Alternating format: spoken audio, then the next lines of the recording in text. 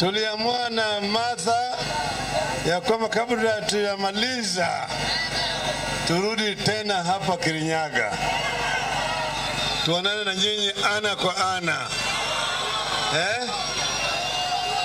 Sasa tuko katika kipindi cha lala salama. Leo ni Jumatatu, sio? Jumatatu ijayo hakuna mambo ya kampeni tena. Kampeni taisha Jumamosi hii, siku tano peke yake, sio? Ndio sababu tumerudi tena tuongee na nyinyi. Nataka kuona kama nyinyi tayari mmeokoka. Mmeokoka? Mmeokoka? Ngapi nimeokoka? Nione mkono hapa. Naona sisi tuko na sababu. Nasema Wakenya wana sababu. Pili, Wakenya wana nia. Tatu, Wakenya wana uwezo ya kuleta mabadiliko, sivyo?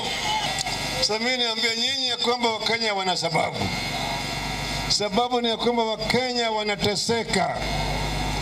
Tulienda mpaka kule Mandera, Mandera, toka Mandera mpaka kule Vanga huko chini, kutoka kule upande wa Turkana mpaka Lamu, kutoka huko Busia mpaka Masalani. Wakenya wamesema punda amechoka. Punda amefanya nini? Amechoka na mzigo, sivyo? Waswahili walisema tikibebacho kikivuja na fuko mchukuzi, sio? Wakenya wanataka mzigo ipunguzwe, ama sivyo? Ama sivyo? Hamjachoka? Mjachoka? Mmechoka? Mjachoka? Wangapi mmechoka? Nione mkono hapa. Ndio sababu tunasema tarehe tisa wiki ijayo tunataka Wakenya wapunguze hiyo mzigo kwa kuchagua azimio la umoja, baba na baba na. Hiyo ndio sababu tumerudi hapa. Tumesema sisi, tumesema tunataka kuungana na Wakenya, tupigane na adui wanne ya Wakenya: ugonjwa, ujinga, umaskini na ufisadi. Sawa, ile mpango yetu yote tayari tumeambia nyinyi. Mambo ya elimu tumesema, mambo ya matibabu, matibabu tumesema, tumeongea juu ya mambo ya, ya ajira kwa vijana, ongea juu ya kilimo, ongea juu ya viwanda na kadhalika. Leo nimekuja hapa kuongea na nyinyi juu ya mambo mawili peke yake. Moja ni mambo ya ufisadi.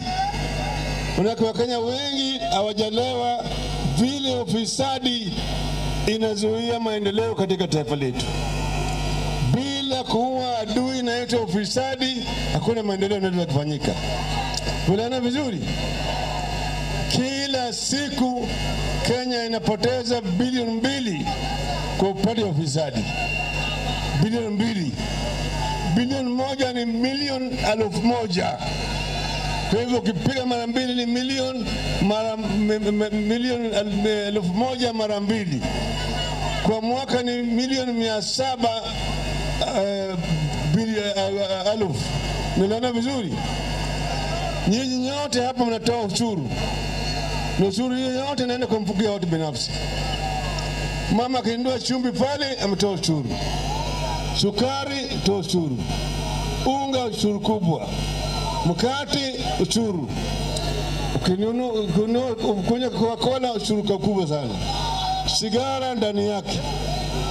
One for the road, ile one for the road, hiyo mama yao sasa. Hiyo ni pesa ambayo wanarogota kwenu kila siku, upende usi. Alafu hii pesa inaenda kwa mfuko ya watu binafsi. Unaelewa vizuri? Umeona vile wanabeba pesa.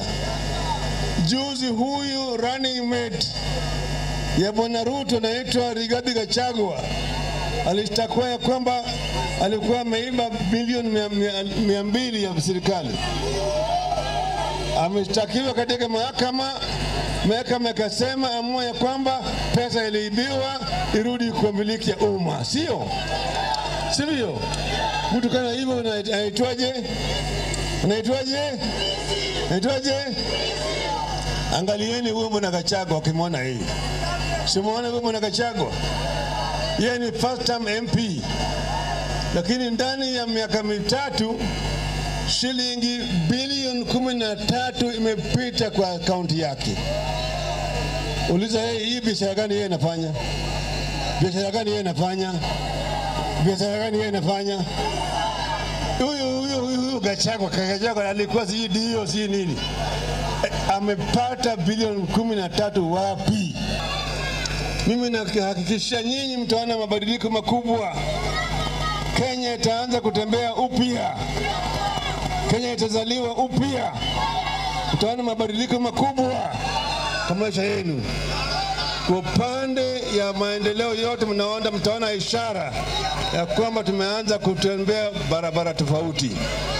Sawa, Wakenya wako katika njia panda, kwa kimombo inaitwa the crossroads.